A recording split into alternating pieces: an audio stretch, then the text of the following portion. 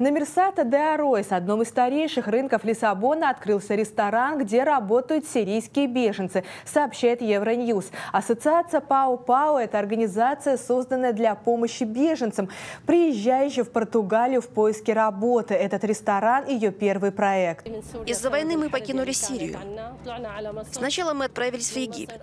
Мы были там два года и восемь месяцев. Затем мы сделали запрос в ООН и приехали в Португалию. В течение 10 месяцев мы контактировали с ООН. И однажды мой сын увидел на Facebook информацию об этом проекте и узнал об Алла. Наш португальский учитель рассказал нам о новых возможностях. Затем мы связались с Франциской и открыли ресторан. И теперь мы независимые.